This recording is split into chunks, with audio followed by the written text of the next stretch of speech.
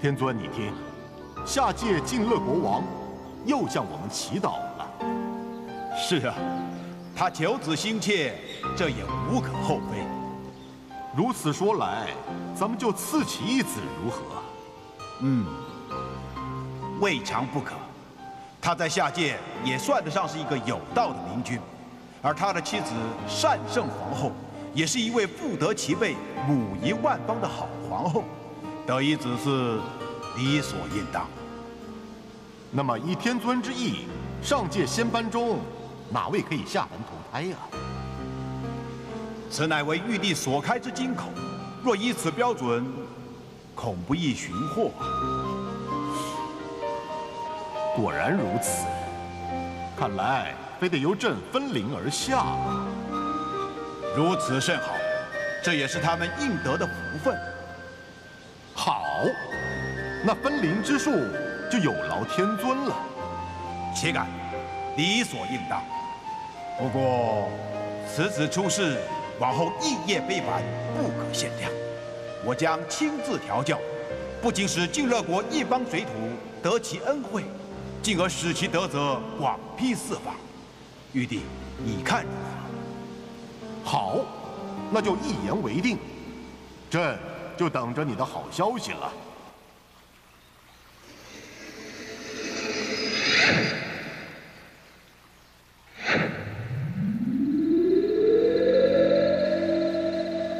玉帝，吾即将前往静乐国，将分灵赐予善圣皇后。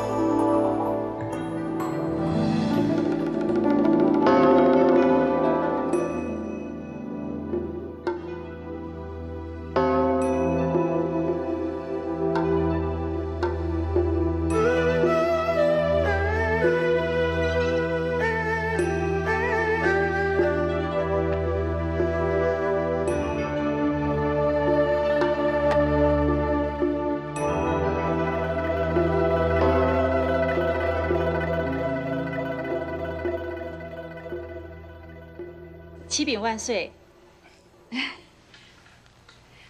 臣妾恐怕 有喜了。你说什么？再说一遍。臣妾有喜了。皇后，你怎么不早说呀？臣妾也是这两天才感觉到的。皇后，你坐，你快坐好。臣妾不敢。不要紧，你赶快坐好，别累着了。天哪，朕终于有后了，终于有后了！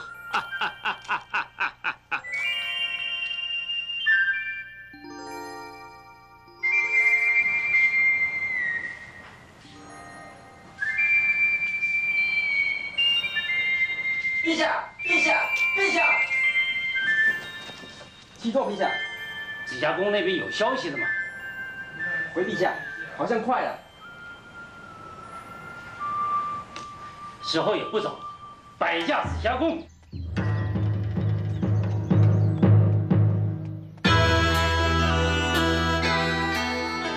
恭喜陛下，贺喜陛下，娘娘千岁刚刚产下一位灵儿。平身，同喜同喜！哈哈哈哈哈哈！万岁！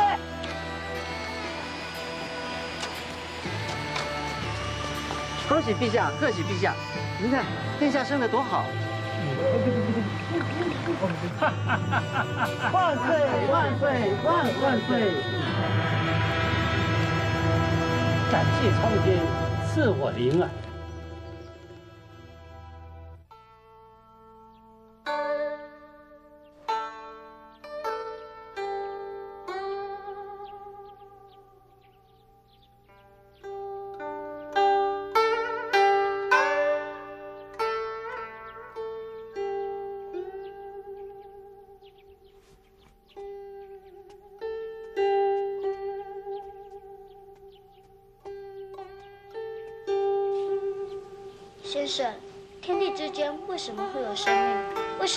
凡是生命就必然死亡？生者何来？死者何往？老臣不知，望殿下恕罪。先生，你是奉旨来教我读书明理之人，近来为何许多问题我都得不到答案？臣启殿下，恕臣无能。殿下近来所追求的，乃是那些博学鸿儒的大人们穷其一生而不可得的大学问。臣的这点粗浅知识，实难胜任。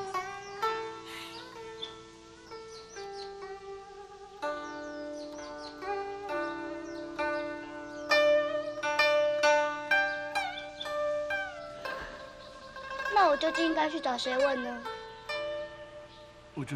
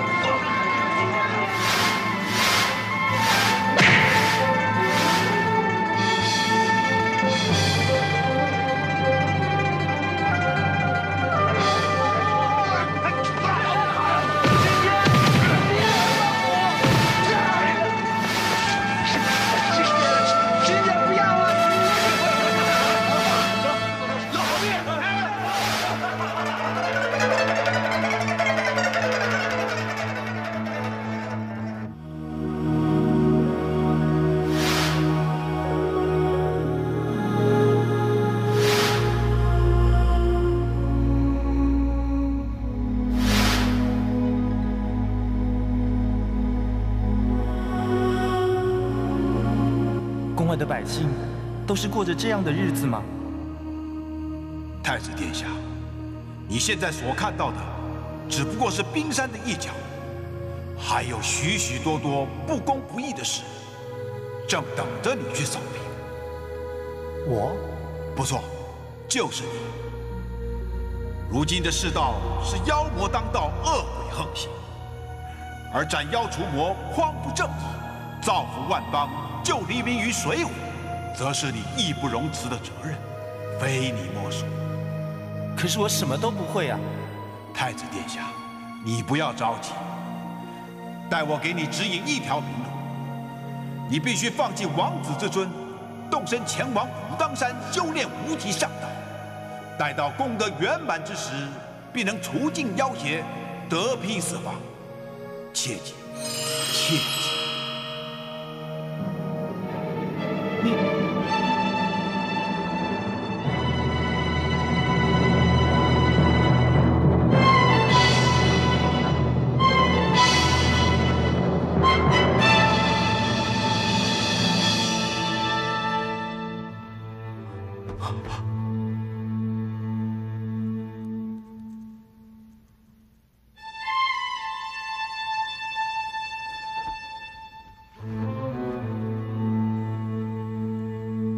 山，我要去武当山。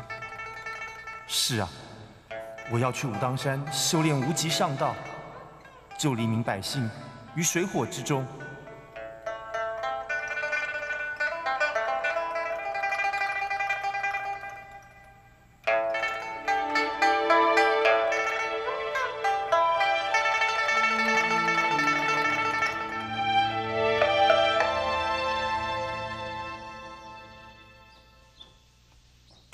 请安，殿下该用早膳了。进来。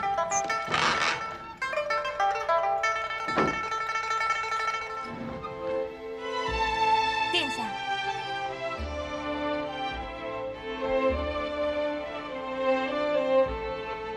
宫娥姐姐，你说这宫外的老百姓是不是也像我一样，饭来张口，衣来伸手呢？百姓哪有那么好命？东西啊都是要用钱买的，如果没有钱，我也不知道他们要怎么过日子。钱？钱又是什么东西呢？钱，钱就是银子啊。银子？银子到底长什么样呢？你待会拿些过来让我瞧瞧。是。皇儿，你真的弃你父王和母后于不顾，执意要去武当山修道吗？我真不明白，你在宫中哪一点不好？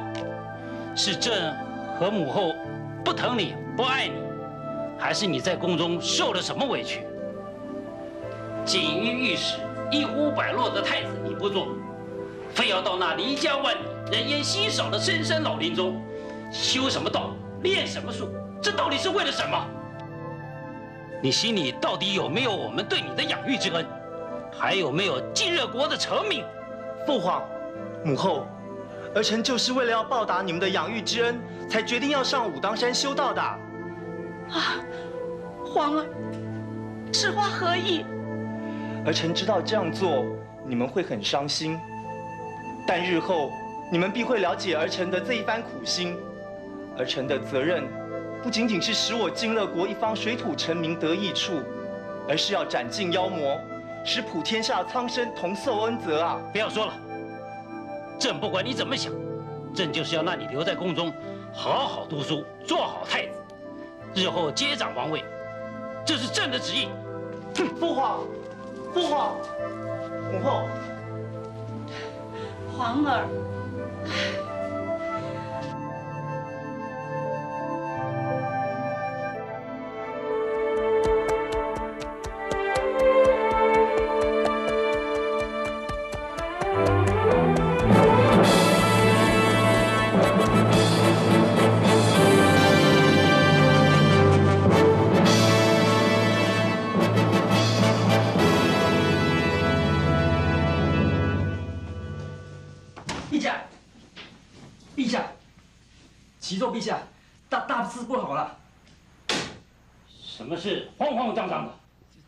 奏陛下，太子殿下，太子殿下，太子怎么了？快说！启奏陛下，太子殿下离离宫出走，去向不明。万岁！我的皇儿怎么了？你问他。奴婢叩见娘娘千岁。快说，我皇儿怎么了？禀娘娘，太子殿下离宫出走，去向不明。皇儿，我的皇儿！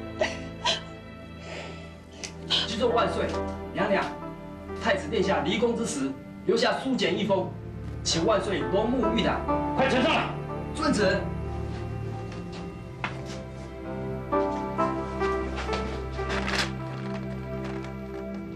父皇母后在上，儿臣顿首于足下。儿臣此去乃势在必行之举，因儿臣决心已定，修道不成，誓不罢休。为铲尽天下不平，为黎民苍生，非入山修炼，难以担此重责大任，也是报答亲恩上上之举。他日相见，二老必有我这样一个儿子而感到自豪。儿臣此去。还望父皇母后不必差人寻找，以免徒劳。儿臣再次恭祝父皇万岁万万岁，母后千岁千千岁。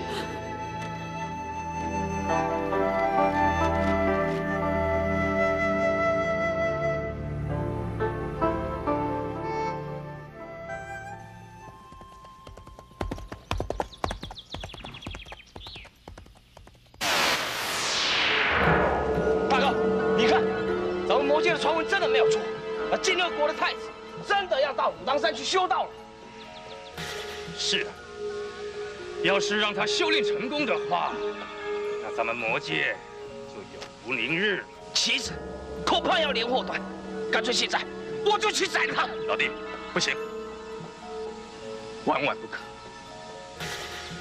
此子实非凡品，据说是玉皇大帝分灵。这万一弄不死他的话，恐怕麻烦就大了。于你于我恐怕不利。大哥，那依你又当如何呢？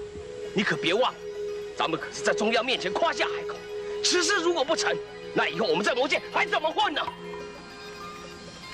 依我看来，这件事只可用智，不可用强。用智？如何用法？老弟，你想想，此人雄心勃勃，豪气万丈，求道心切，但他毕竟只是个太子之身。且不说修炼道术时的万般艰苦，实非人体所能承受。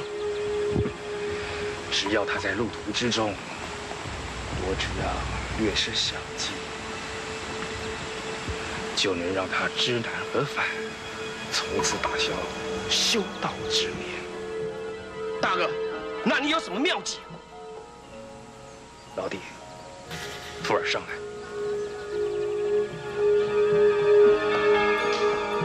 哈哈哈哈哈哈！此计甚妙，大哥，真有你的。那咱们兄弟俩就动手吧。好，大哥，请。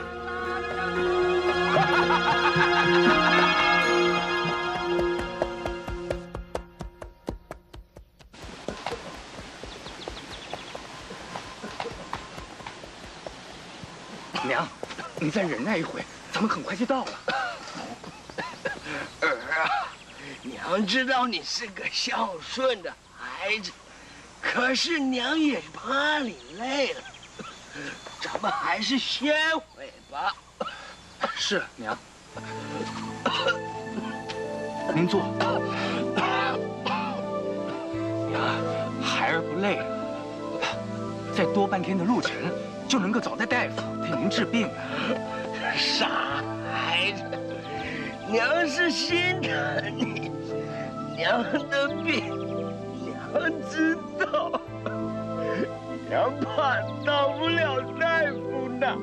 娘就不行了，娘是怕累坏你了，娘死也不求你别再说了，你一定会好起来的，一定会好起来的，娘。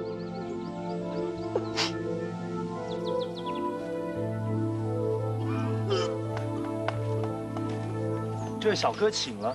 在下这厢有礼了，这位公子有礼了。不好意思，我娘这回有病在身，我急着带她去见大夫。不管你有什么事，请您让个路。娘，我们赶路。小哥您误会了，在下是看您二位母慈子孝，十分的感动。老妈妈的病又这么的严重，如果单靠您个人负重步行的话，岂不耽误了老妈妈的病情了吗？那有什么办法？我们穷人家。只能靠着双腿，不像你们富家子弟，出门在外可以骑马坐轿。这位小哥，小弟愿意把在下的马送给你们，我让你们尽快的求诊就医。这使不得，使不得啊！这位公子的盛情，咱们心领了。可是这匹马，咱们可千万不。不能要！快快快，快把老妈妈扶上马背，不要耽误了救人的时间。那是工信部的守命，多谢公子。您客气，救人要紧。多谢公子。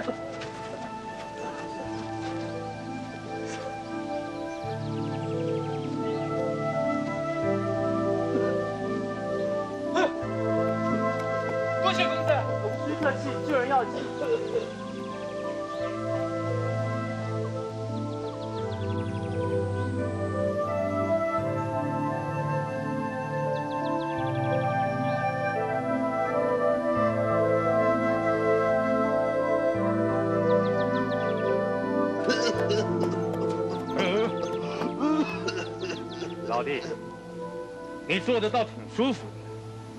下来。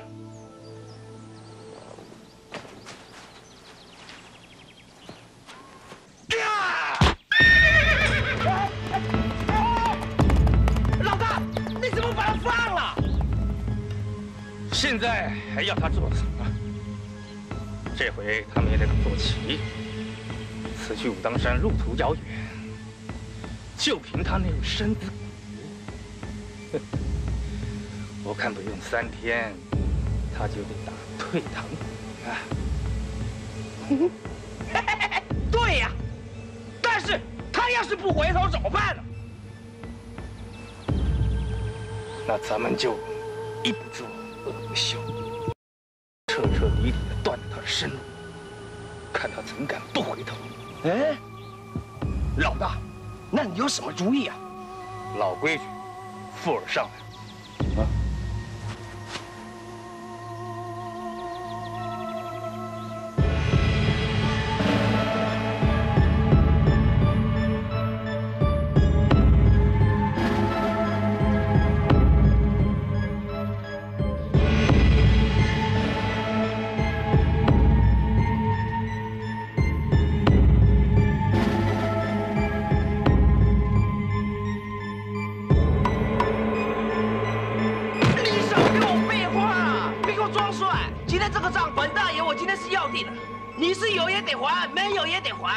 不然别怪大爷我心狠手辣啊！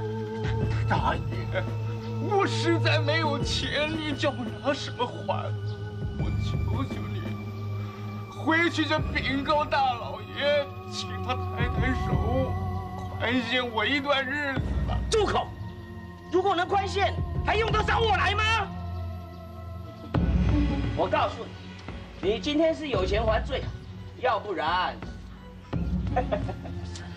我就把你这个小孙女卖到烟花巷去，我想也值个几十两吧，怎么样？使不得，千万使不得啊！我儿子媳妇已不在人世间了，我老伴跟卧病在床，小孙女又小，都得靠我照顾他。我哪有时间外出赚钱？我欠你。的债，我一定还，一定还。不过，像你。这样的讨债法，你。叫我们怎么活？我就开开恩，可怜可怜我们吧。你的死活我管不着。你少他妈的跟我哭天妈嘞！今天大爷我就是要钱，没钱交人，两条路你自己选一条。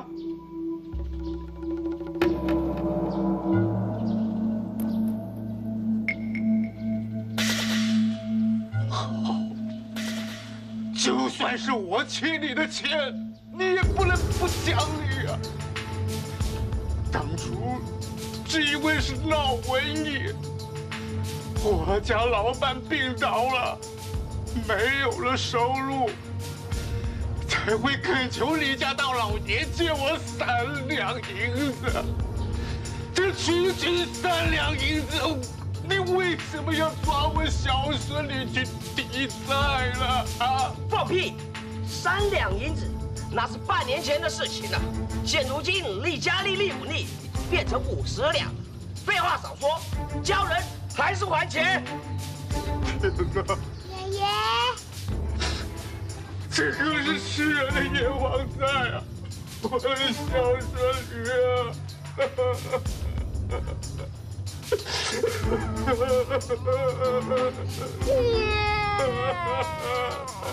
好了好了，死老头，我不想听你啰里吧嗦，走，站住！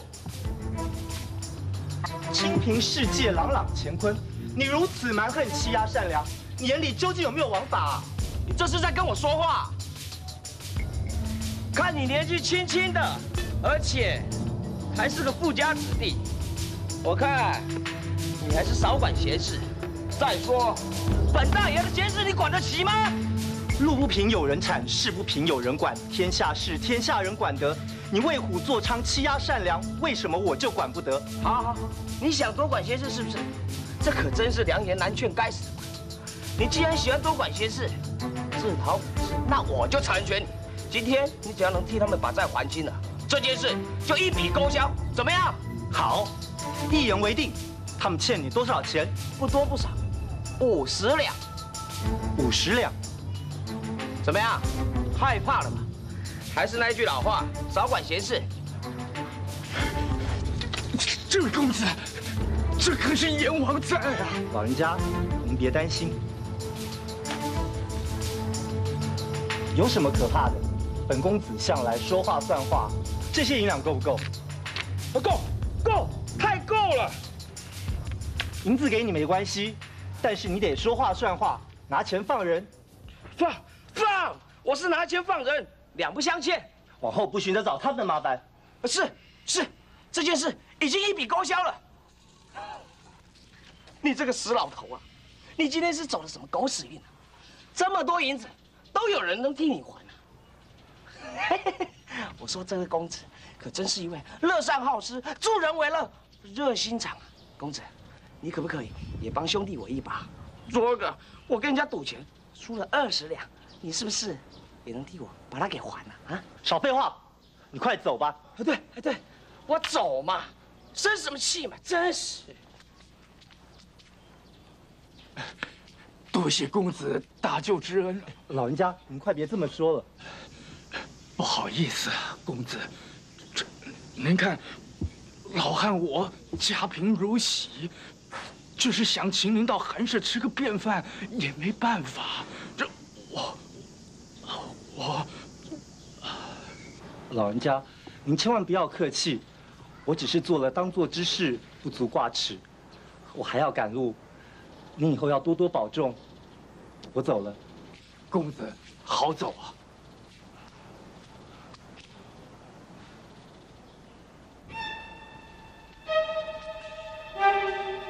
唉，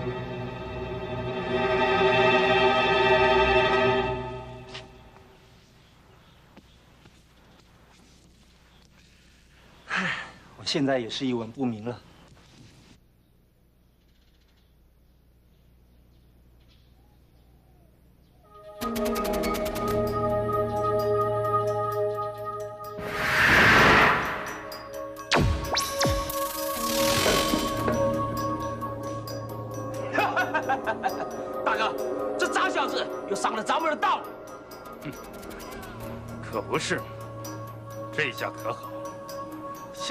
一文不名，身无长物。这回他要上武当山，我想他真是在做做梦。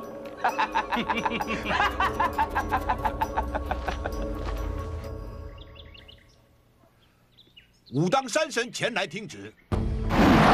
小神叩拜天尊。山神听旨，下界净热国王子正欲前往武当山修炼无极上道，这一路上要多加照看，不得有误。遵旨，小神一定会好好照顾王子，绝不会让他受到半点委屈。不然，你无需对他百般呵护，吃苦受罪乃是他必修的科目。你只需做到两件事即可。其一，在他而言，此去武当路途遥远，关隘重重，极易迷路，你要给他指明方向。是。其二，他现在身无分文，一贫如洗，无论他如何饥寒交迫，你都不要管他。但在存亡绝续的紧要关头，你可对他伸出援手，但是也不要给的太多，够吃够用，足以续命就好，知道了吗？是，小神谨记在心。还有一事，小神请旨。据小神观察，龟蛇二妖一路上对他横加阻拦，小神是否可将此二妖镇住，以利其通行？不必。此二妖作怪，如何应付？这也是他必修的功课。将来要让他自己去将此二妖收服，你不必多此一举。谨遵法谕。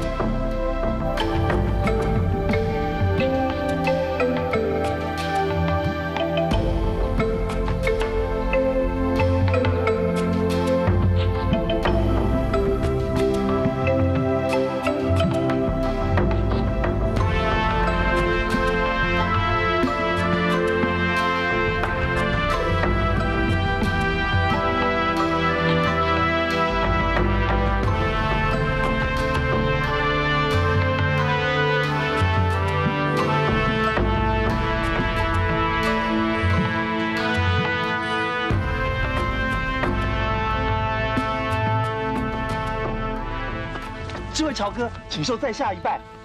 不敢当，公子何故行此大礼？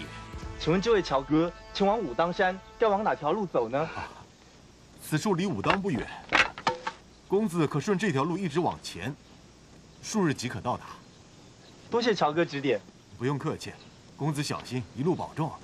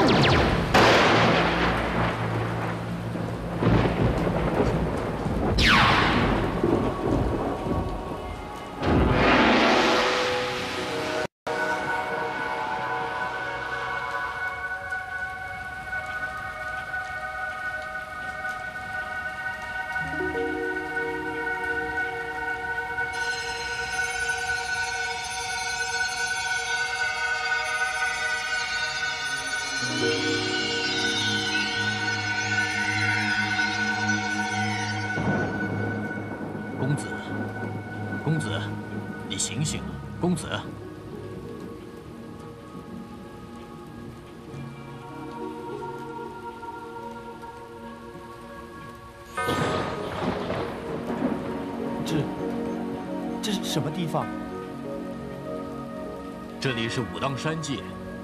公子，我见你在雨夜昏倒，故而将你接到此处。谢天谢地，你总算醒了。武当山，老伯，您说这里是武当山？对，这里正是武当山。太好了，我终于到了武当山了。老伯伯，谢谢您救了我，因为我还要进山投师修道，救命之恩他日再报。不敢不敢，救人于难，这是老朽的本致谢。不过你身体过分虚弱，虽说投师修道是好事，但也非刻不容缓之举。依老朽之见，公子不妨多休养两天，待体力恢复再走不迟啊。多谢老伯关爱，上武当山修道，乃是晚生毕生的志愿。今日既然已到武当，便不容晚生稍事耽搁，早日求得名师，方能早日修得正道。既然公子执意要走，老朽也不便挽留。只不过公子大病初愈，身体虚弱，一路上还望多多保重。大恩不敢言谢，后会有期。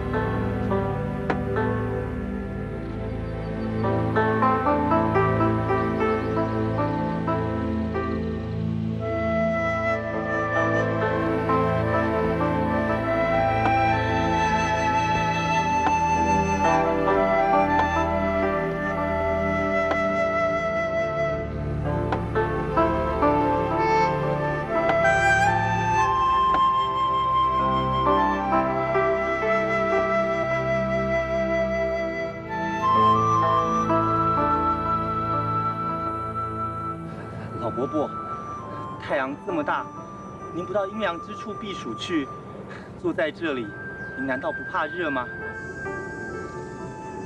常言道，心静自然凉。娃儿，你听过这句话吗？我听是听到过，但是却不知有这样的神奇。心静则气静，则心胸宽广，胸纳博川之气，便有真气护身，就可抵御外界万物之侵扰。这可是一门上乘的功夫，你一个小娃儿家，哪里会懂的？那我就要跟您学这门功夫。哦吼，你要跟我学功夫？你要知道，这是一件非常痛苦的事。你受得了这个罪吗？只要能学得成功夫，修得成正道，什么苦我都能吃，什么罪我都能受。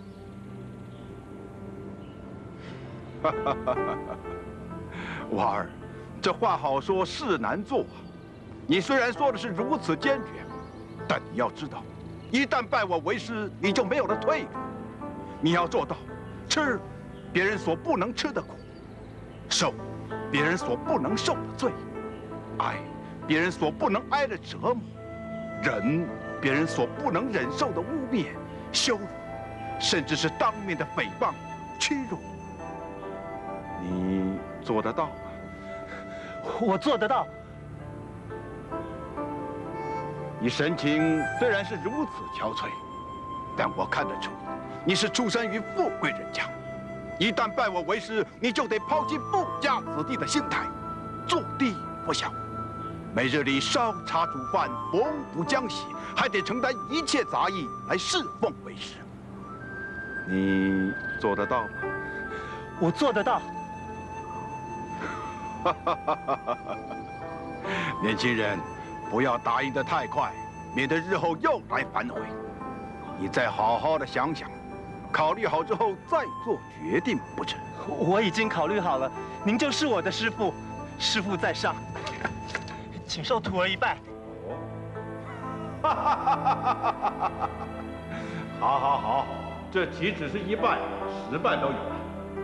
看你有如此的决心，我就收你为徒了。多谢师傅收留。且慢，徒儿啊，光有决心是不够的，你还需要有无比坚强的毅力。有决心而没有毅力，到头来照样是一事无成。你记住了吗？徒儿谨记在心。怎么办？怎么办？你说怎么办？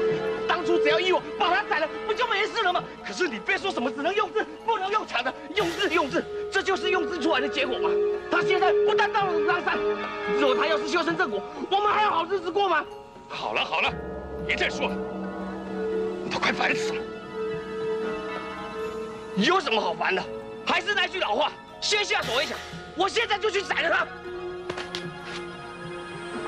你混了，宰了他。先前咱们动不了他，如今更动不了他。你知不知道他的师傅是谁？元始天尊。你是咱们惹得起的吗？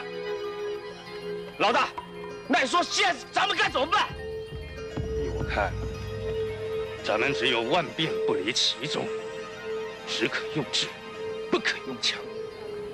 还用智啊？再用下去，咱们就离老戴搬家那一天不远呐。那也未必。依我看来，咱们就趁他新来乍到，还不知道修道艰苦之时，随时给他增加困难度，让他自动放弃修道之念，能达到目的吗？咱们尽其在望，他来个无所不用其极。事到如今，也只好如此了。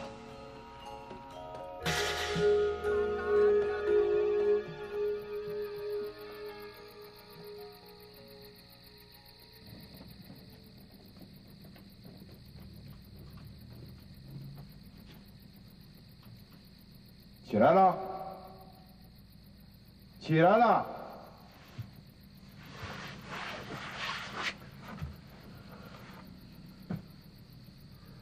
你还愣在那干什么？天不早了，赶紧给为师烧茶解渴。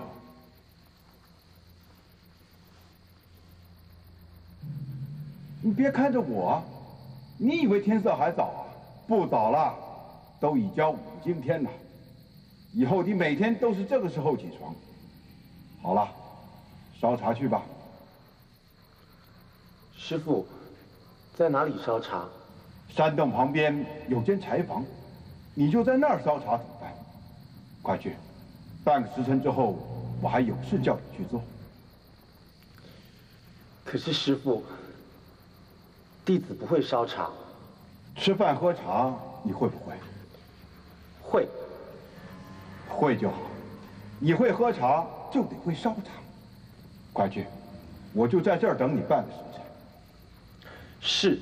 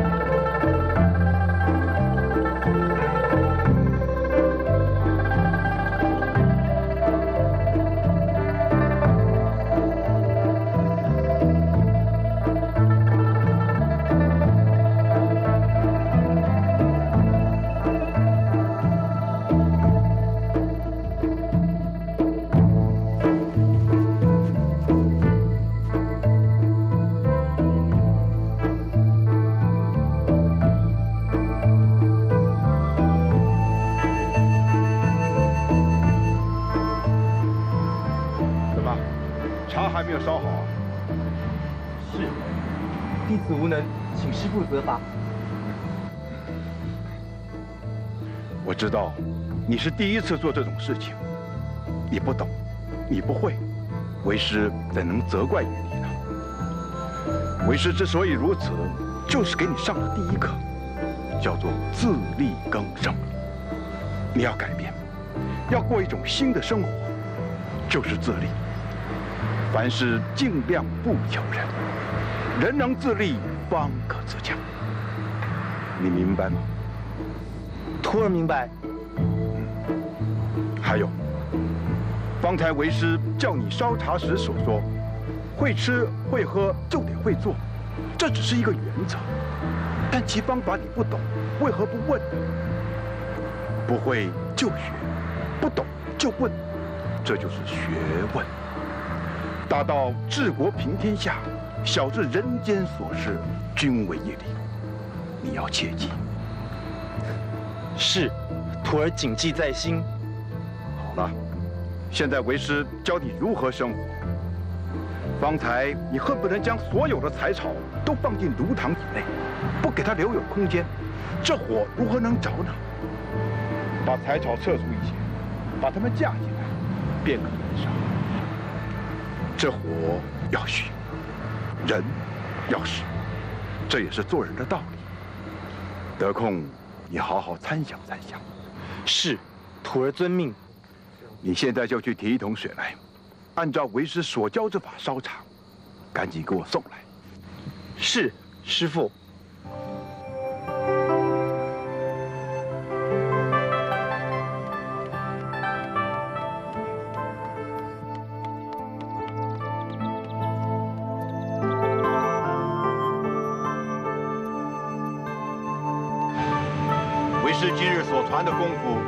关重要，你必须勤加练习，打好根基，对你往后大有益处。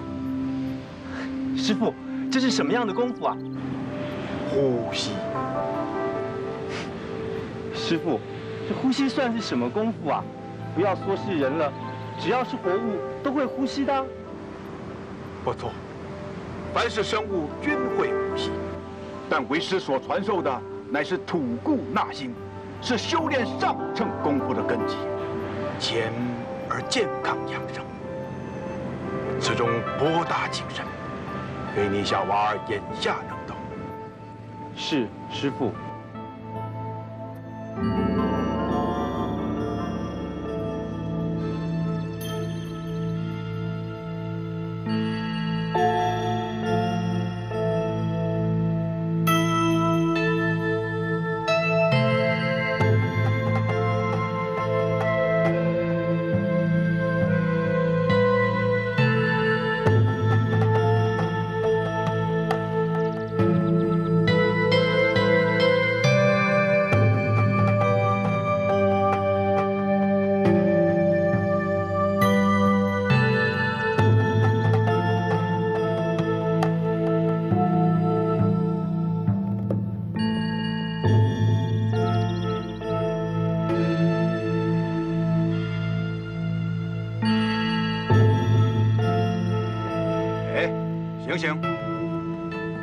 现在是练功，不准睡觉。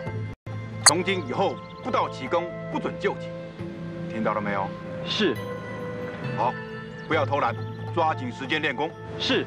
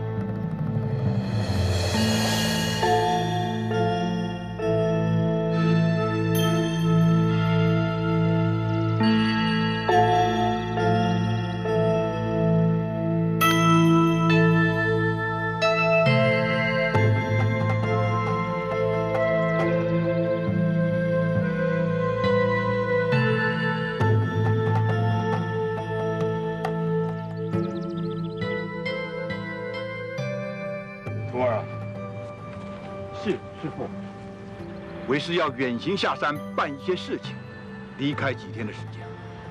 你要像为师在山的时候一样，勤加练习，不可懈怠。每日晨昏需按为师所规定的时间就寝及起床，不可稍有懒惰。听到了没有？徒儿听到了。如此，为师去也。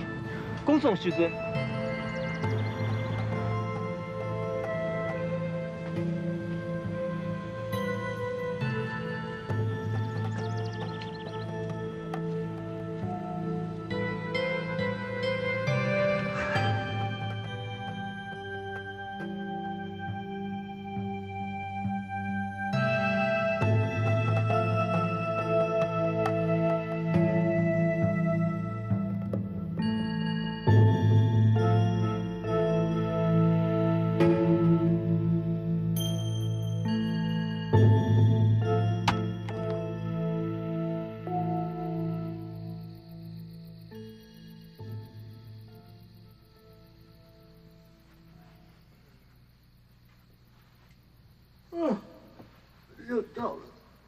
我的时候。啊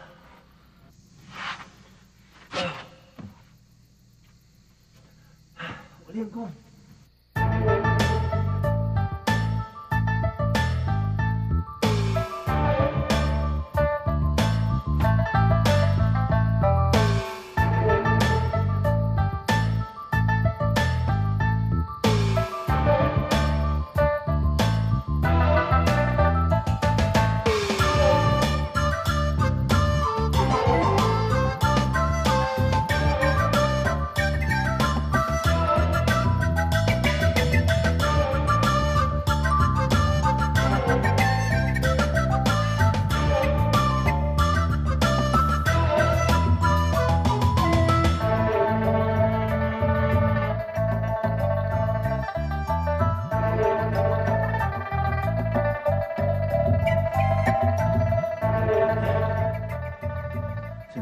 干坐着，要不就是练马步，算得上是什么练功夫呢？真是烦死了。算了，还是等师傅回来教我真正的功夫的时候再来练吧。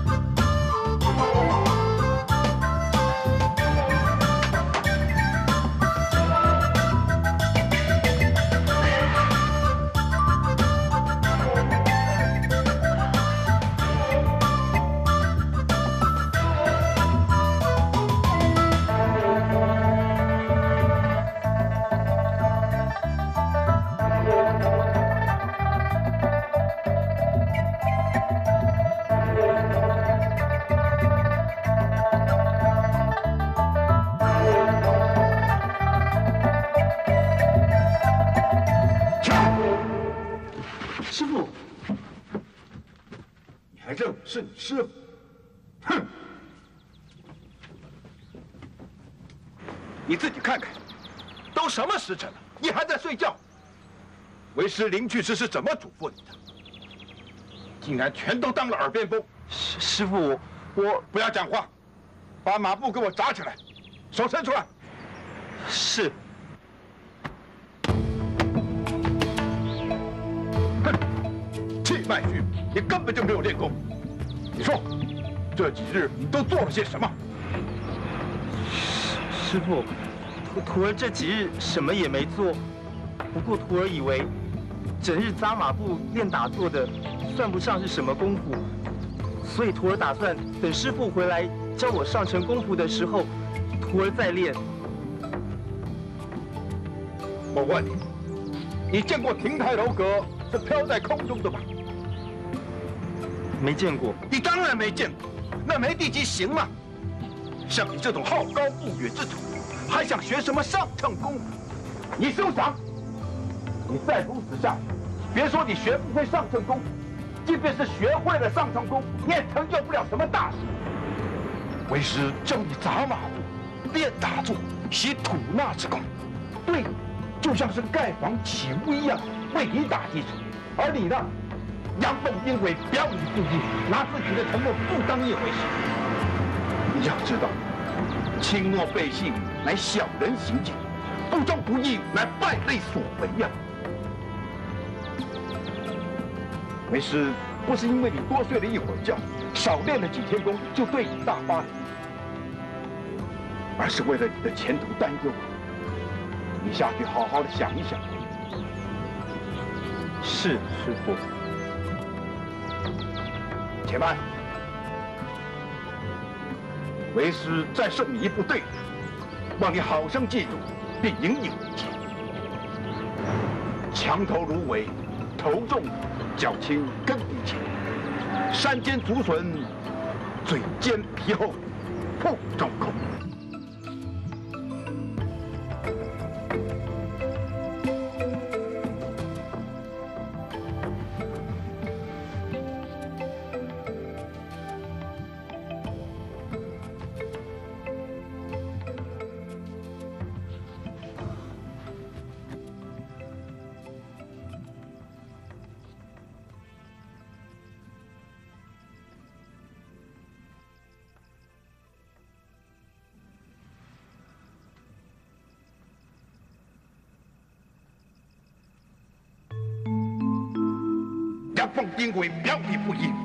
你的承诺不当一回事。你要知道，轻诺背信乃小人行径，不忠不义乃败类所为呀。皇儿，你好吗？父王好想你呀！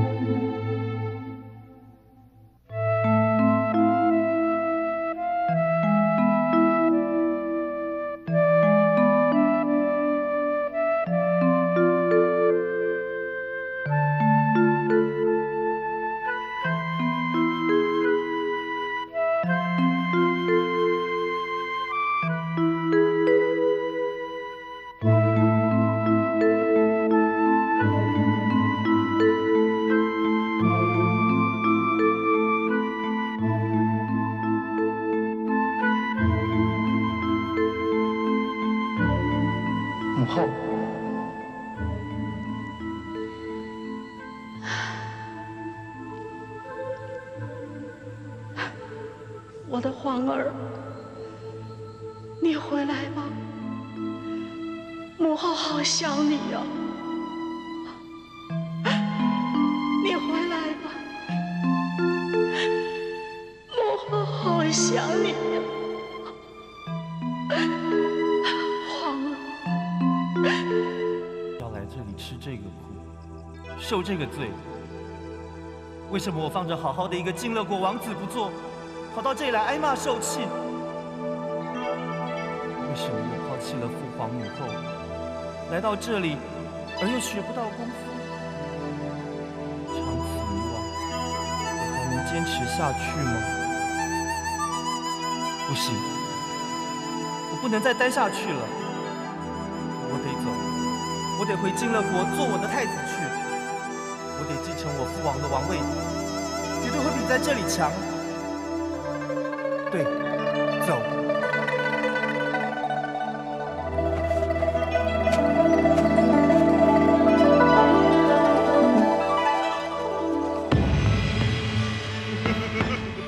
太好了，他终于下山了，总算了了我们一块心病。老弟，如何？我早就料到他无法坚持下去。怎么样？应验了。老大神机妙算，小弟佩服佩服。过奖了。现在咱们就可以回去，向那些群妖宣布这好消息。对啊，我们要好好的庆祝庆祝，乐上他几天。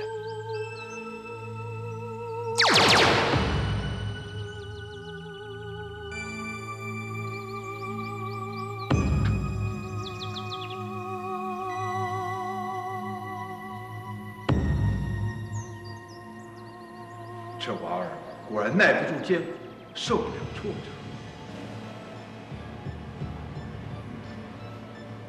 也罢，待本尊点化于他。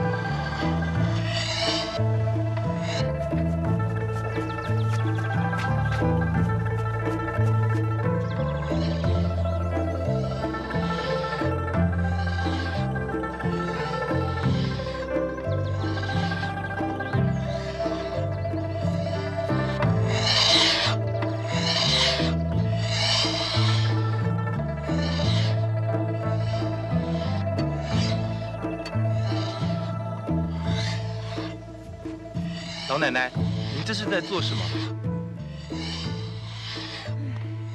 你没看见我在磨它吗？我是说，您费这么大的力气磨它做什么呢？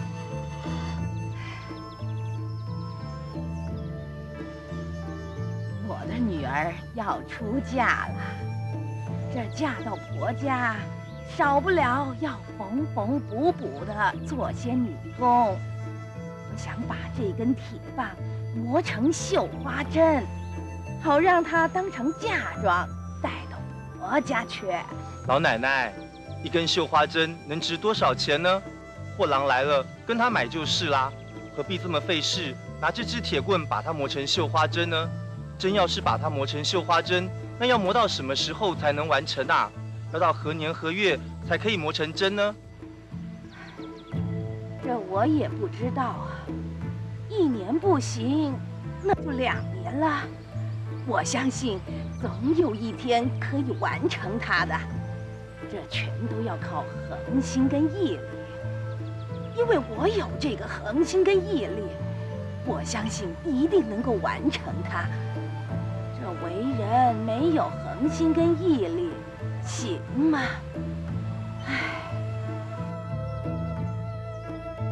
光有决心是不够的，你还需要有无比坚强的毅力。有决心而没有毅力，到头来照样是一事无成。你记住了吗？师傅，我错了。年轻人，你还没走啊？走？往哪走？你不是要下山吗？下山？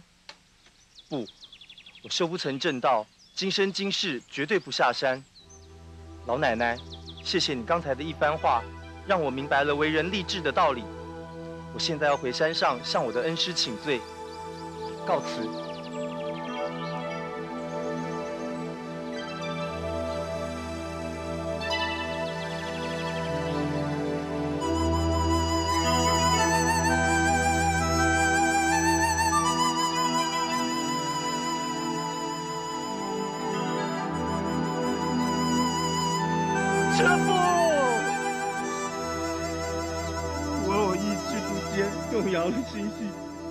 忘记了恩师的教诲，这才心生下山之念。现在徒儿知道错了，求师父原谅徒儿，让徒儿回来吧。师父，您老人家到底说说话呀？难道您真的不要徒儿了吗，师父？不不不不不，我不是你师父。老朽担当不起啊，公子，你还是快快下山去吧。山下的生活轻松自在，可别让这山中艰苦的岁月耽误了公子的大好前程啊！啊！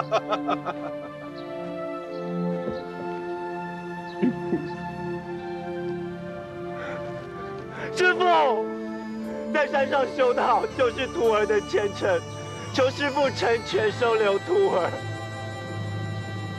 师傅若不答应，徒儿就在此长跪不起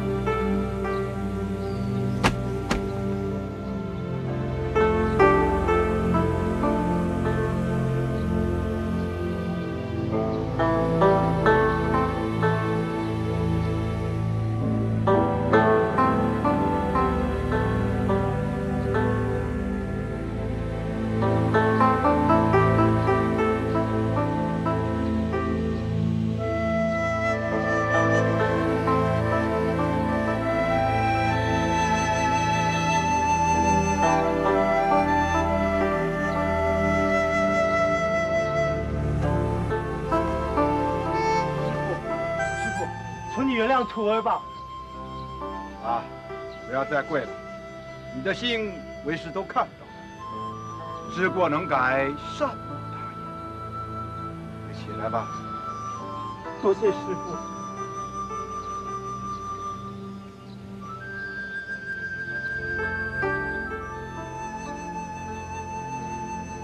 你要永远记住这一次的教训，从今而后要更加刻苦练功，精研道术。正如你自己所下的决心，不达目的，绝不罢休。是。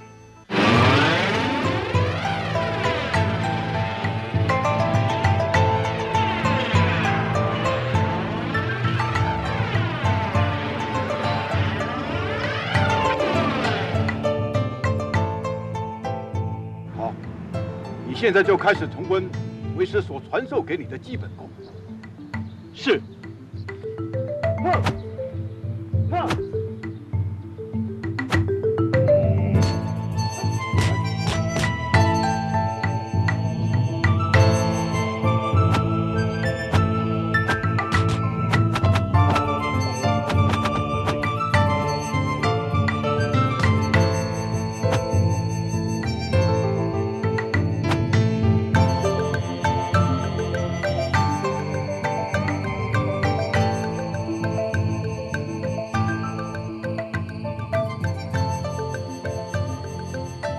直，腰部要打直，两肩端平，含胸拔背。就你这么松松垮垮的样子，要到什么时候才能够练成功呢？继续。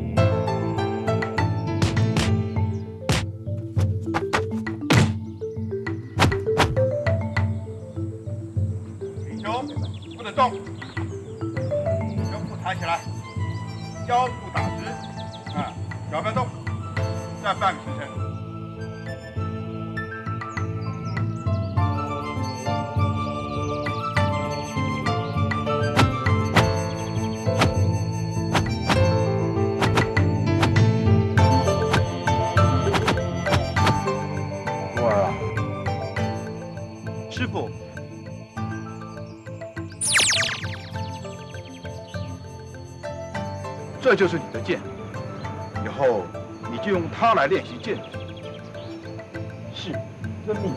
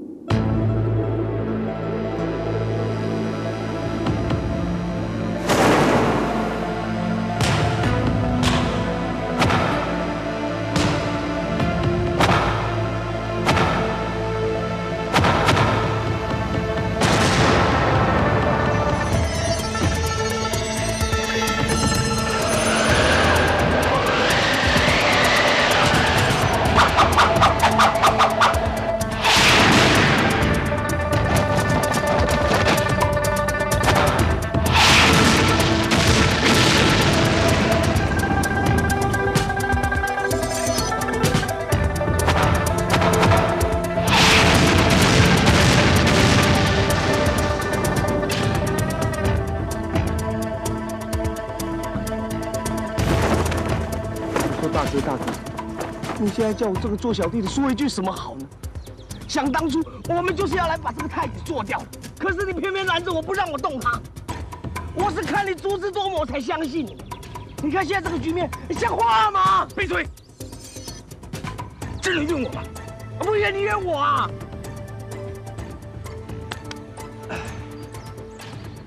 当年他气势下山的时候，你也看见。可是后来会变成这个样子，谁又能够预料得到？对呀、现在可好，别说把他做了，就算咱们两个一起动手，也未必是他对手。难怪魔界都说，等到太子功德圆满，也就是咱们魔界倒霉断头时，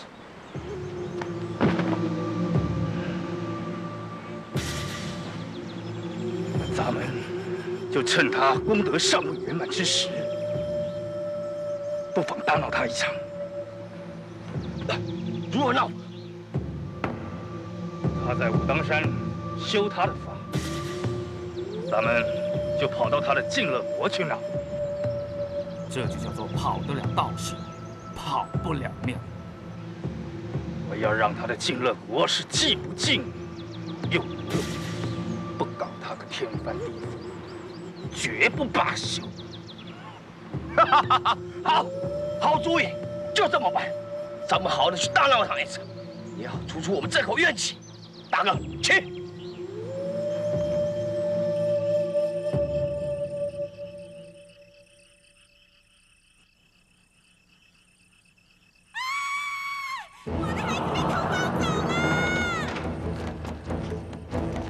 怎么回事？又是小孩被掳走了？听说是刘二家的，才刚出生八个月，还不满周岁呢。这到底是怎么回事啊？这被掳走多少个小孩了？少说有十几个了，都是在睡觉的时候给莫名其妙抱走的。哎呀，真是造孽！听说啊，不光咱们这儿，现在各乡各镇都有这种情况发生，官府啊更是一筹莫展，连贼人的线索都无法掌握。你说这可怎么办？看来还是咱们小民百姓自求多福吧。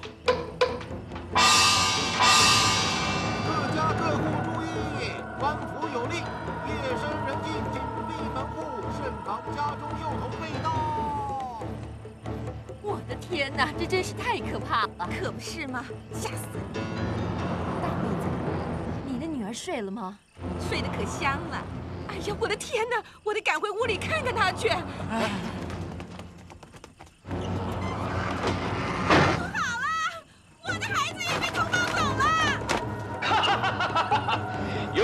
小娃娃，我的大补宵夜就有了。哈哈哈哈哈！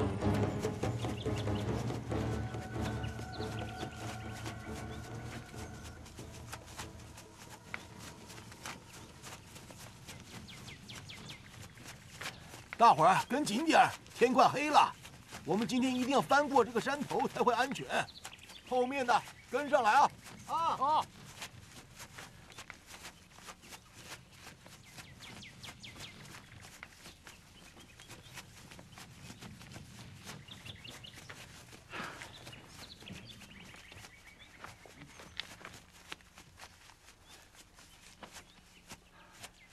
阿贵啊，你怎么不走了？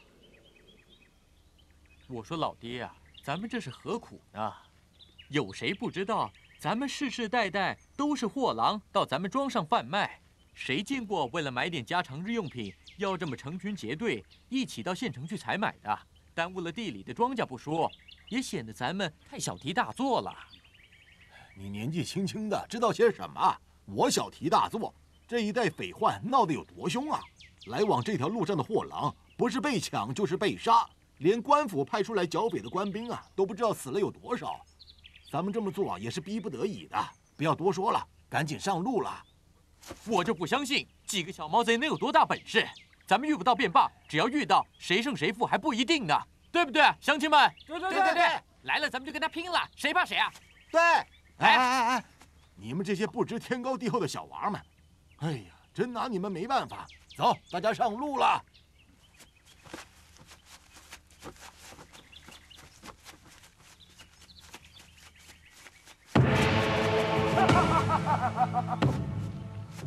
吃山是我开，吃书是我栽，要打死路过留下买路财。有人敢说半个不，一刀一个不管吗？这么说对不对？话怎么那么多呢？真是，叫他们把东西留下，快滚！对，东西放下，快滚蛋！我大哥今天心情好，只要东西不要人，要不然。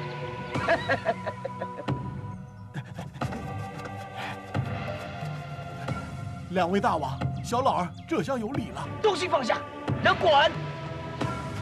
大王容禀，小老儿带乡亲下山采购，实在不容易。大王您如果要的是，我们可以留下一部分。剩下的，请大王高抬贵手，让我们带走。放屁！我大哥说出来的话比皇上圣旨还大。还是那句话，东西留下，人滚！大王开恩，大王。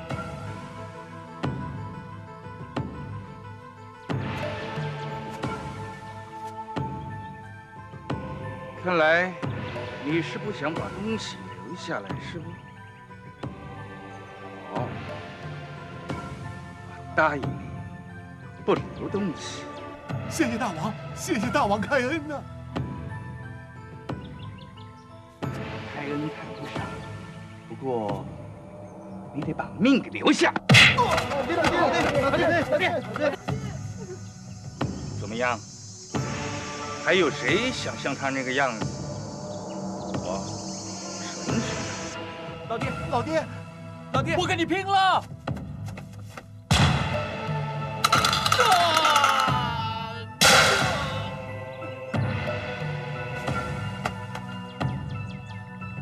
跟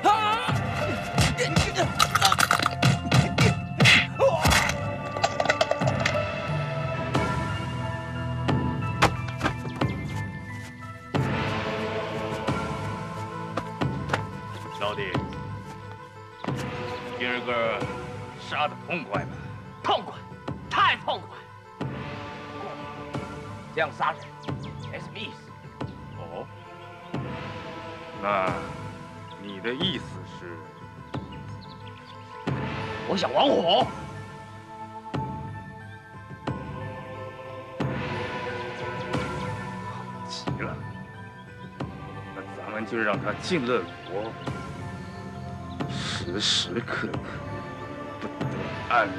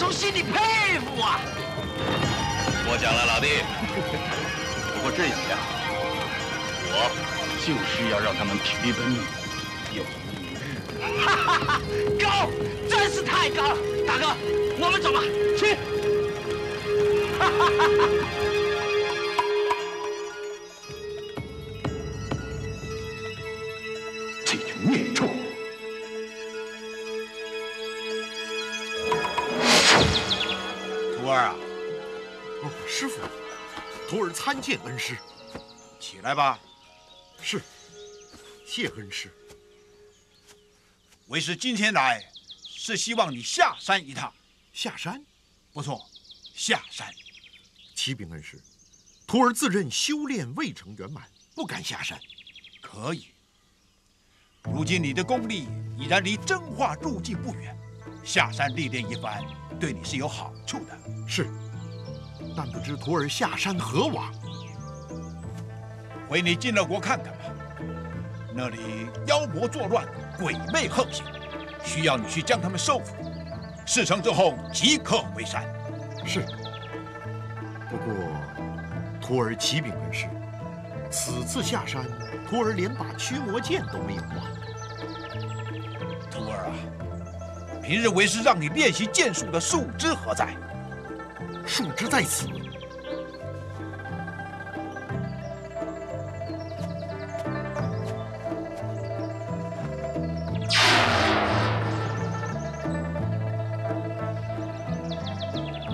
带着他下山去吧。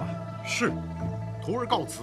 且慢，你肉身不必前往，继续在山中修炼，分灵前去即可。是，徒儿谨遵师命。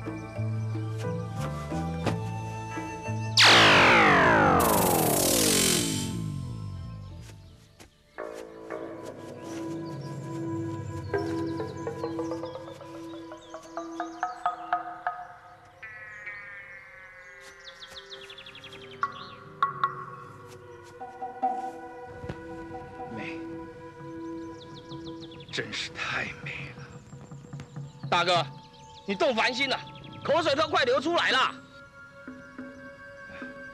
老弟，你看，那样貌美的女子，如果我何能她一饱艳福的话，那就太 大哥的意思，做小弟的知道，你想要，小弟现在就去把她给抢过来。为什么你的脾气总是改不了呢？什么事都要用强的。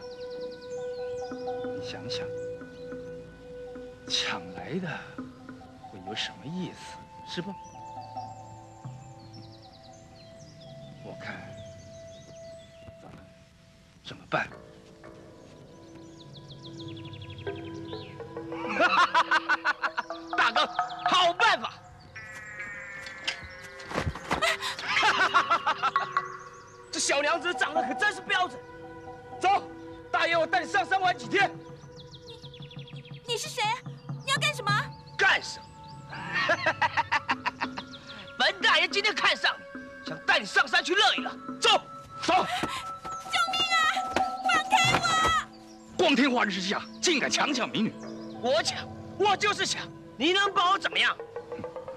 我就把你抓去宋桥官府。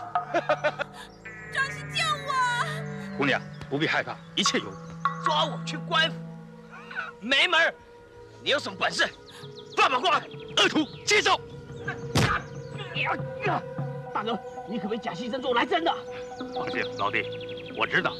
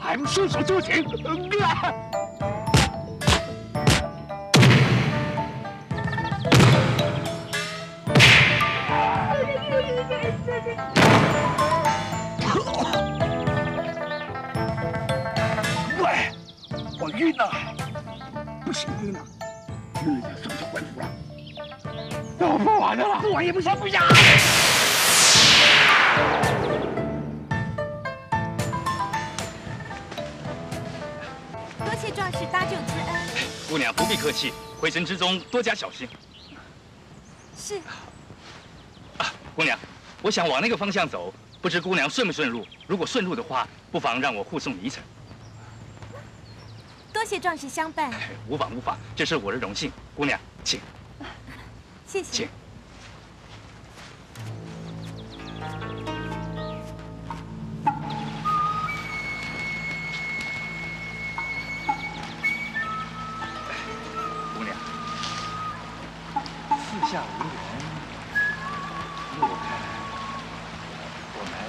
不急着先，不如就在这儿歇息休息。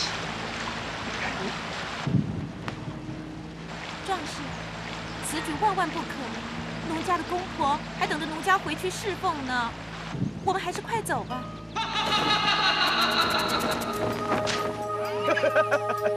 走，往哪里走啊？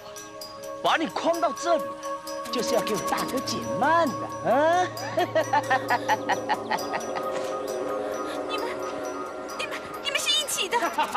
我们当然是一起的。姑娘，我垂怜你的美色已经过时了，让我和你温存温存。但是你放心，我保证会让你满意。孽畜，休得无礼！这两个孽畜作恶多端，饶而不得。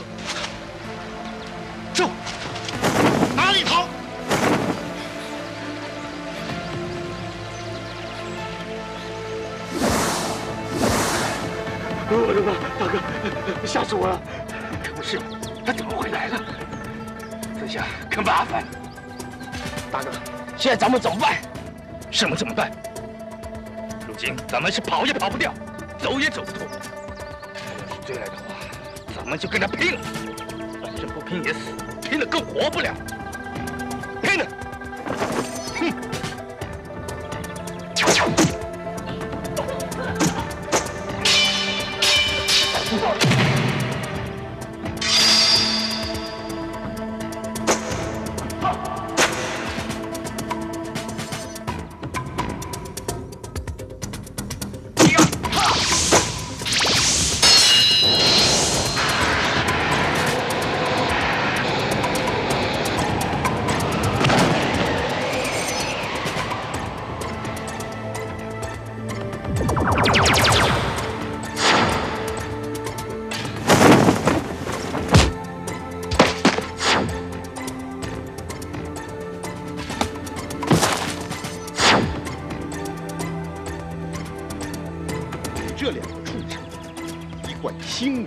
浪、伤风败俗，杀人放火、奸淫掳掠，无恶不作。今天不将尔等除掉，你们还会再继续的危害人群。求太子殿下开恩饶命！开恩饶命？哼！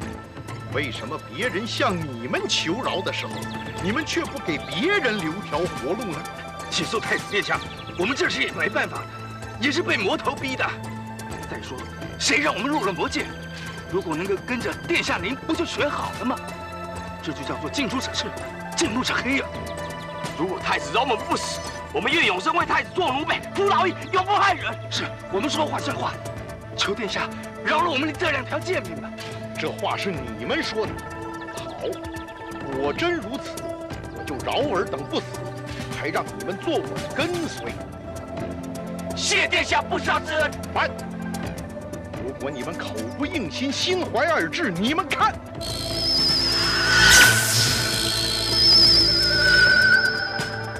哼！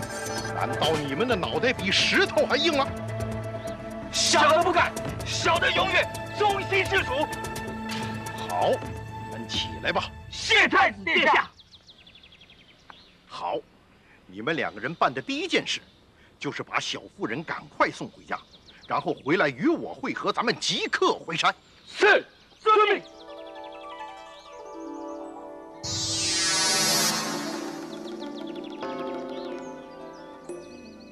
拜见恩师。此次你的分灵下山，收服了龟蛇二人，使他们无法再坑害人间，这是一件大功。全仗恩师洪福庇佑。哈哈哈哈哈哈！徒儿无需自谦，为师很是满意。今日为师要再传授你一门新的功夫，叫巨木通天。掌握此功，你便可遥看万里如咫尺，与你受用匪浅呐。谢恩师。好，你随为师来吧。是。你们两个也起来吧，就在这里守候。是。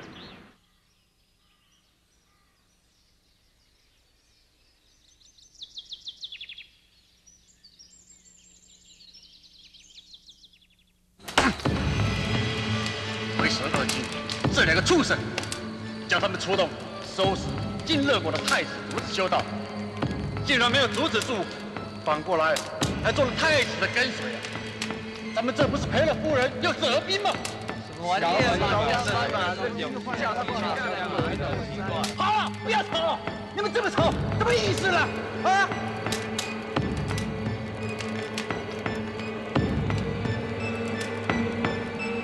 谁有什么好主意，说来本王听听。启禀魔君，小的倒有一计，不知该不该讲。有屁快放，有话快说，那么多废话干什么呢？是。依小的看来，龟蛇二金的道行不高，才遭此败。他们只是扰乱市井百姓，哪能成什么大事呢？我看，咱们不如现在先指导华工，把整个晋乐国搞垮，这才是大功一件呢。哦，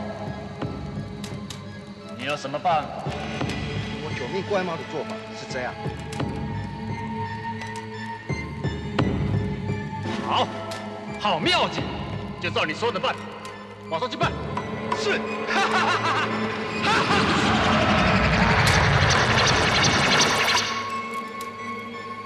我叫你们去打探晋乐国宫中之事，怎么样？有没有希望？难啊，实在不容易。常言道，苍蝇不叮无缝的鸡蛋，咱们实在找不出他们的破绽，这叫咱们怎么下手？是啊，晋乐国土如今上下一心，国泰民安，和乐融融。不要说去搞颠覆，只要言行稍有不轨，以后叫我们怎么混啊？他妈的，我就不信，这么大的一个晋乐国，这么多的王公大臣，难道连一个怀有二心的都没有？连一个对国王心存不满的都找不到？也不是心怀不满，而是臣民都替皇帝老发愁了。哦，愁什么？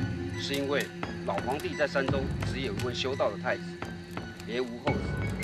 皇帝在百年之后传位给谁，江山谁掌？说他们能不愁吗？嗯有道理，这倒是一个很好发挥的题目。好，咱们就来一个将计就计，直捣王宫。大统领，你，哼，本统领自有妙计。哼，皇上驾到！皇万岁万岁万万岁！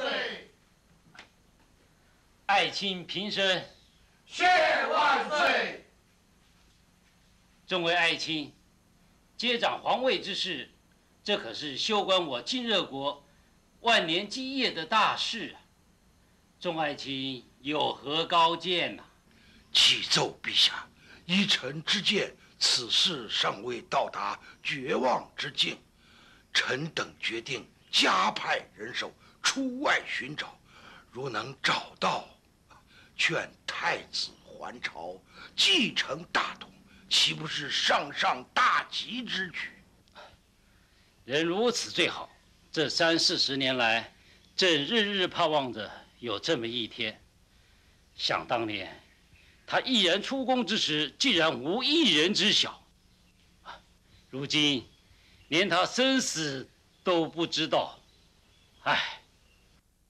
臣等奉旨无状，臣等该死，望皇上降罪。众卿平身，尔等何罪之有啊？谢万岁！想当初，他离宫修道之意甚坚，连朕和皇后阻挡不住，一晃数十年。朕就不懂了，这到底是为什么？是嫌金热国太小，还是真有无比远大的志向？每念及此，朕连睡觉都睡不着啊！陛下忧虑，臣等心焦，望陛下为国珍重，臣等一定找到太子，继承大统，以报洪恩。请皇上宽心，臣等肝脑涂地以报皇恩。尔等之中，朕心甚慰，朕也累了，今天就议到这儿了。奉旨退朝。吾皇万岁万岁万万岁！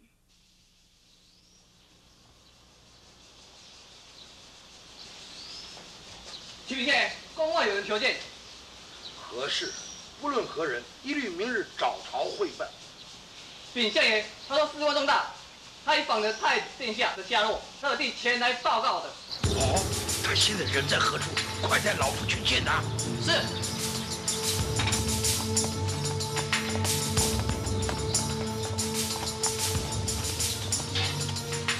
是阁下要见老夫，报告太子殿下的消息吗？正是。不知太子现在何处啊？在我的手掌心里。你，你是什么人？是前来取你性命之人。包丞相，包丞相，不用叫了，他们全是我的人。杀！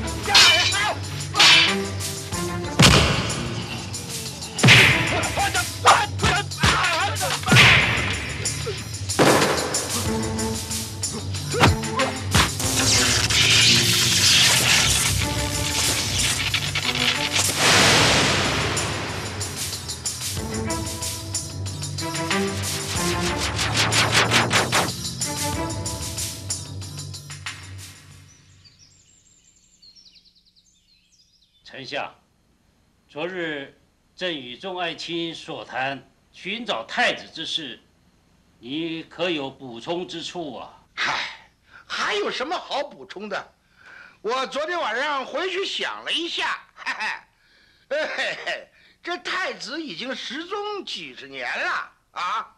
现在早就不知道人死在何处，臭在何方了。咱们再花功夫去找他，那岂不是脱了裤子放屁？哎，多此一举吗？放肆，你身为太宰，百官之表率，何以出言出语咆哮朝堂？与朕说话也是如此轻浮，你懂不懂君臣之礼呀？你谨慎为官数十年，何以一夕之间变化如此之大呀？难道？你疯了吗？哎，疯倒是没疯，我只不过是讲了几句实话而已呀。你，你，不错，哎，就是我。哎，其实我这也是为了你好啊。你不要再想你的那个儿子了啊，这已经过了几十年了，找不着了。哎，我看呐，你不如啊，把你的王位传给哎大臣的儿子。哎。你就传给我也可以呀！啊，你好啦，你别老是你你你的，我这也是为你好啊！啊，住口！万岁，宰相出言无状，请万岁治罪。好，我藐视圣上。看起来你倒是一片忠心呐。嗯，好，老夫就成全你。来人呐！走，把这个兔崽子拉出去给我砍了！是，皇上，皇上，皇上，你你你怎么敢乱杀大臣？你这，哎，我这也是为你好啊，扫除奸臣，哎，保护你的安全呐！哎，还有谁敢再胡说八道的？我敢！你这奸贼，欺君犯上，丧心病狂！人人得而诛之。哼，嗯，好，有胆子啊！还有谁不服啊？我不服。还有吗？来人，把他们统统给我拖出去，乱棒打死！奸贼，我等好不得好死。皇上，您要保重啊！臣等在皇权底下为您磕头了。拖下去。是。奸贼，不得好死。皇上摆驾长生殿退茶。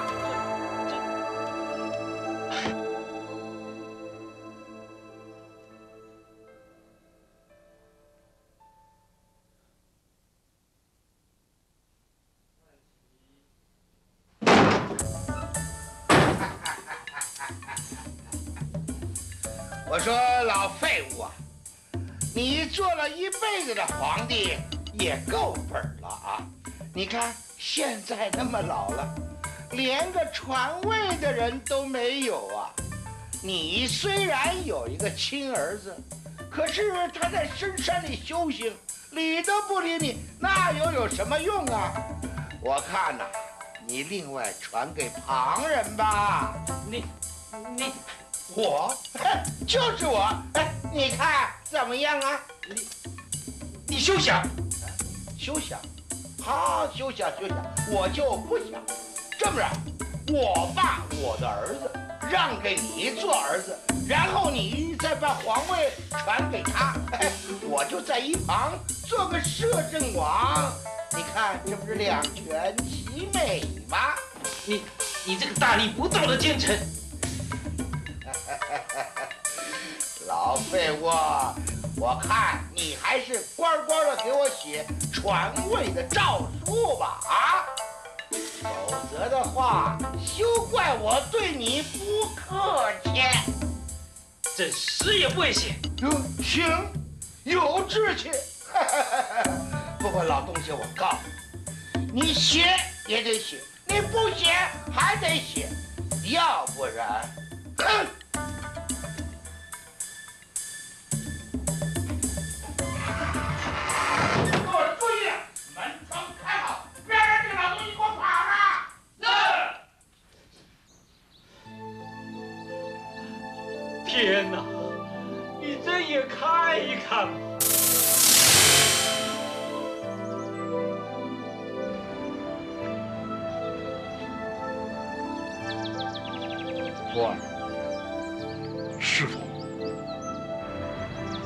晋乐国的事都看都看见了，所以徒儿想请师傅恩准徒儿下山前去踏见。这是忠孝两全的事，为师当然会准你前去。其实为师正准备派你前往大脚，谢恩师。此次仍然是你的分灵前往。不必带龟蛇二，让他们护住你的肉身即可，他们前去会产生不必要的麻烦。是，遵命。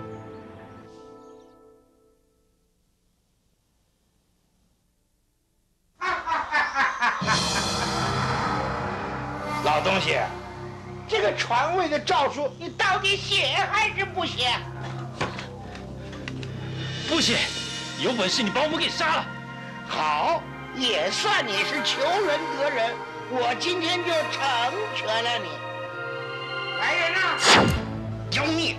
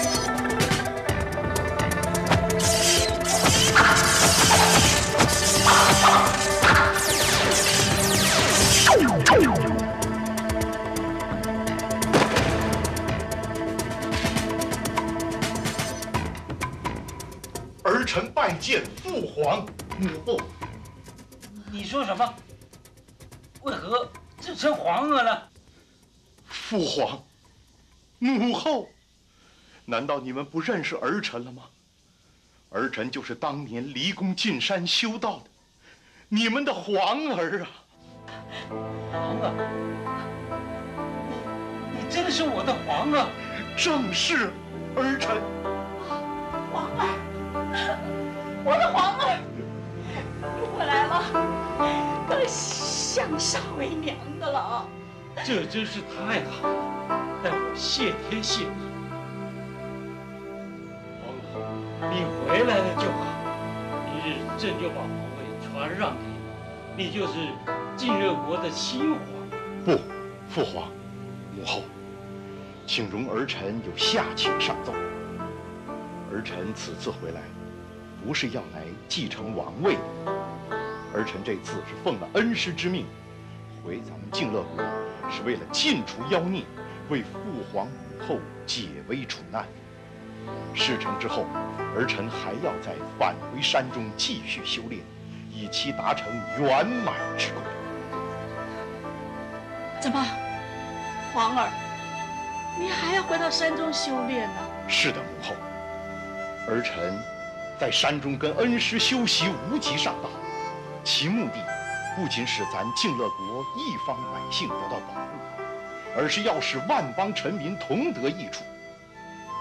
因此，斩妖除魔、德备万邦，是儿臣永志的职责，请父皇母后见谅。原来我儿的前程是如此的远大，真叫为娘的感到无比的欣慰啊！是啊，这正像。当年皇儿你出走流书中所说的那样，他日见面必会以这样一个儿子感到骄傲与自豪。朕正有这种感觉。多谢父皇母后有如此宽宏的胸襟。皇儿快起。父皇，皇儿，你有如此远大的前程，朕不会阻拦，只会替你高兴。但如今朕已垂垂老矣。这百年之后，江山社稷要传与何人？王哥，你可有想过？有，儿臣考虑过。哦，你说来听听。是父皇，难道您忘记了吗？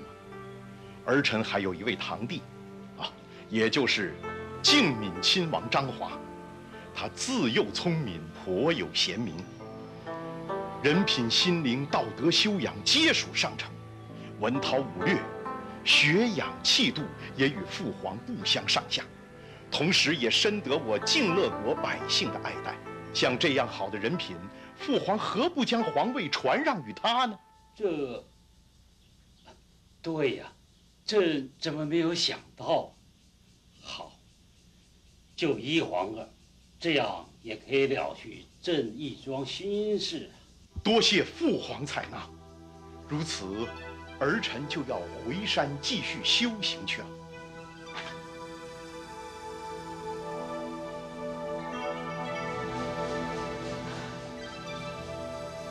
皇儿，你回去吧，可别忘了时常回来看望我们呢。儿臣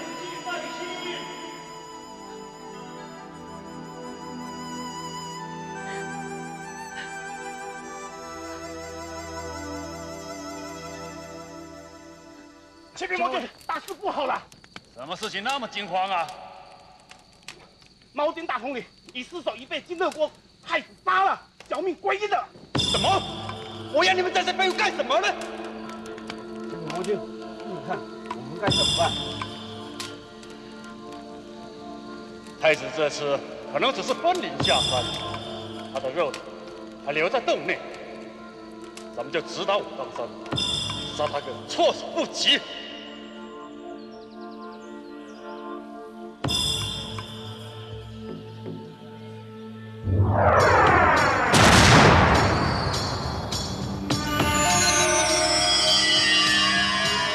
大胆魔头，你来这里做什么？哼！你们这两个叛贼，趁早给我滚到一边去！我先结束了他，再来收拾你们两个。你敢？你想伤害我家主人，就得先过我们这一关。好，你们护主心切，那我就成全你们两个。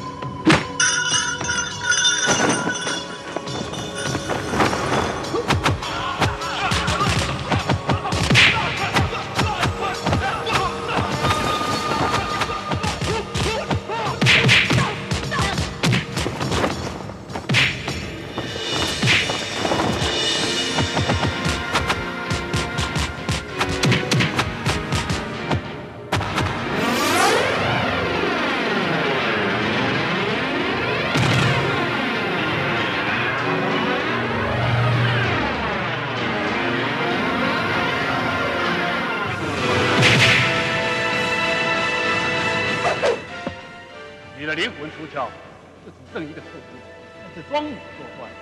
今日天赐良机，我就先毁了你，看你的灵魂归来何处依附。大胆妖孽，休得无礼！魔头，我灵我体原本浑然天成，你伤我不得。哼未必，本座修行四百多年的道行，不信斗不过你这区区三四十年的道行。不错，你原本道行不低，如果加以苦修，摆正心性，仍可成仙得道。可惜呀！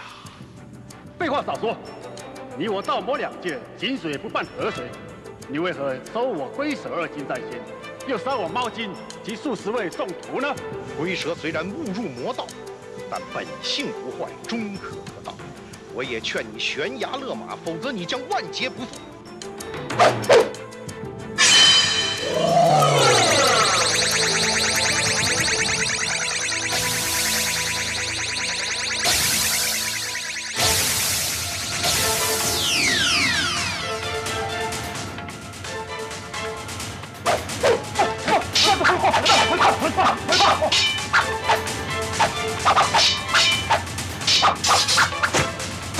反妖孽，危害山界，饶而不得！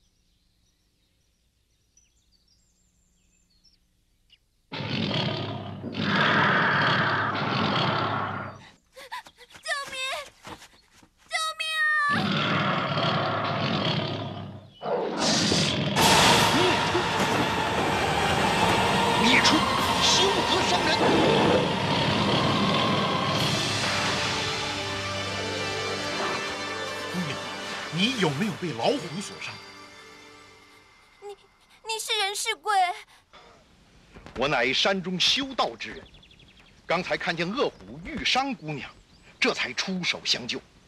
像我这山中野人之状，望姑娘千万不要见怪呀。恩公此言差矣，小女子尚未答谢恩公救命之恩，恩公请上，请受小女子一拜。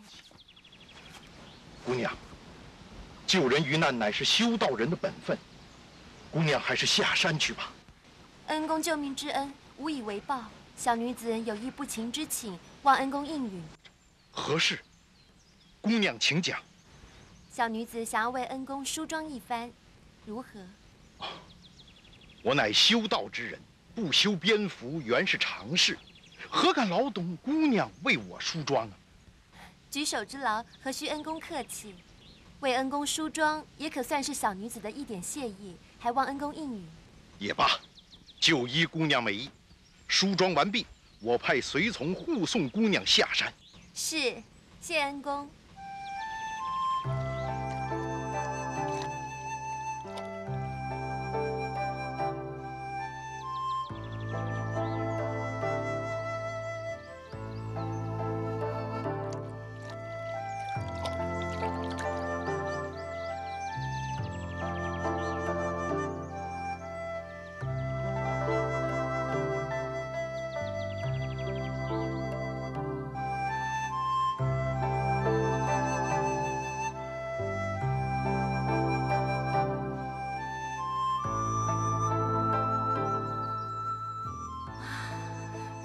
真的好英俊，太有男子气概了。不知道恩公有没有成家？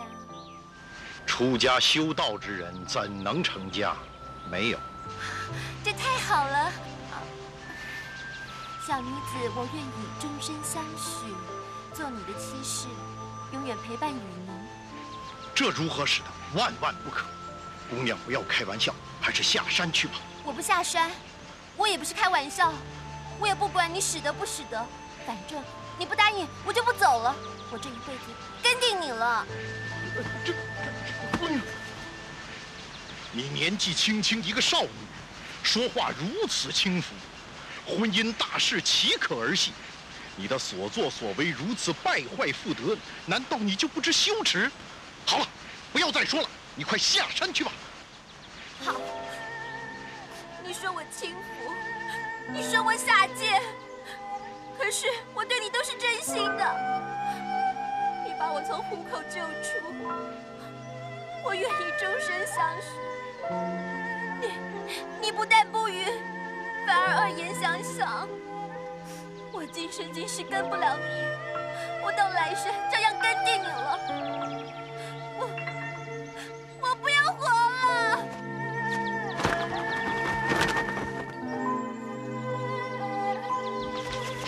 主人，他真的跳了。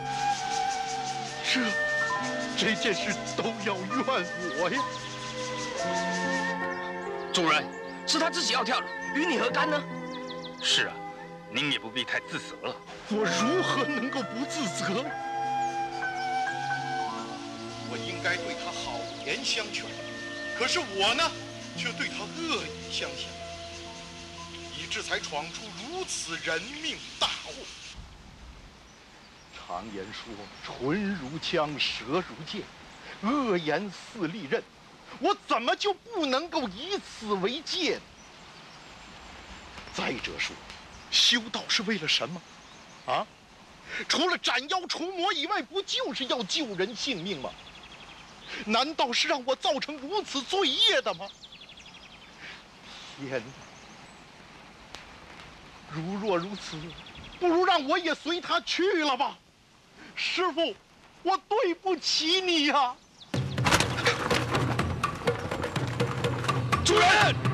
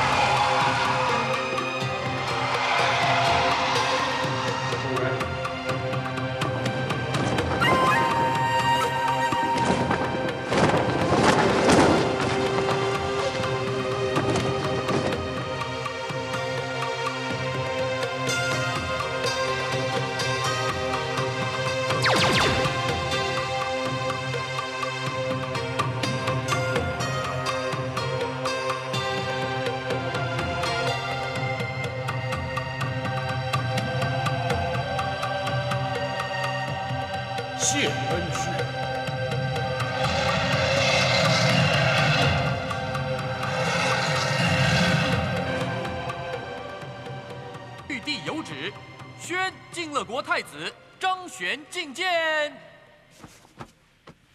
臣下届晋乐国太子张玄参见玉皇大帝。好张玄，臣在。你不要光顾了参拜正宫，而忘了拜谢你的恩师元始天尊教育之恩呐、遵旨。参见恩师。祝恩师与天同寿，与日同辉。徒儿免礼。天官，颁诏吧。遵旨。张玄听旨。臣领旨。天地至尊，玉皇大帝诏曰：原下界晋乐国太子张玄，生而神灵，长而勇猛，不统王位，维修念道，救助群品，施斩妖魔，为入武当，隐修四十二年，功德圆满，接上天庭。今封为真武玄天上帝之位，位在玄武，并赐玄色令旗一面，执旗掌剑，永镇北方。钦此臣真武玄天领旨谢恩。平生谢玉帝去吧。谢恩师。